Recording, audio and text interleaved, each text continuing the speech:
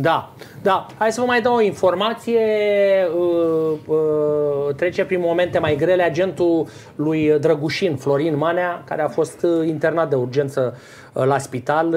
Avem și niște poze. O criză severă diabetică pentru Florin Manea, nu comă diabetică, da? ca să înțelegem, dacă nu le umflăm acum.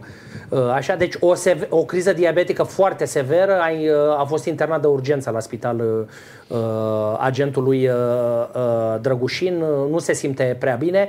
O scriză foarte gra- gravă diabetică pentru Florin Manea, care, mm, iată, este pe patul de spital. Îi urăm multă sănătate lui Florin să revină, ca să zic așa, mai puternic. Nenorocită boală și diabetul ăsta. Da. Nenorocită. Nenorocită. Deci rău, rău a fost Florin weekendul ăsta. Încă o dată îi urăm sănătate și să se pună pe, pe picioare.